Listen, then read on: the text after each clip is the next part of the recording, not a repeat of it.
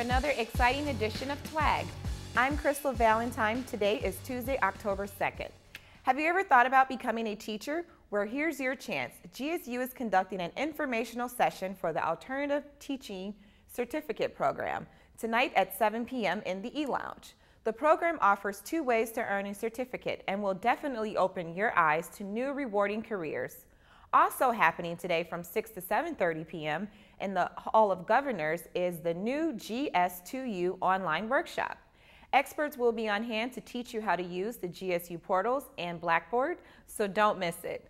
And for all of you film lovers out there, the Association of Latin American Students is sponsoring the screening of the film Immigration Nation in honors of Hispanic Heritage Month. The screening begins promptly at 5 p.m. tomorrow in the Engbretson Hall, and the discussion moderated by GSU's own Dr. Zell will follow. Well, that's all for today, Twaggers. Adios. I'm your host, Crystal Valentine, and you've just been twagged.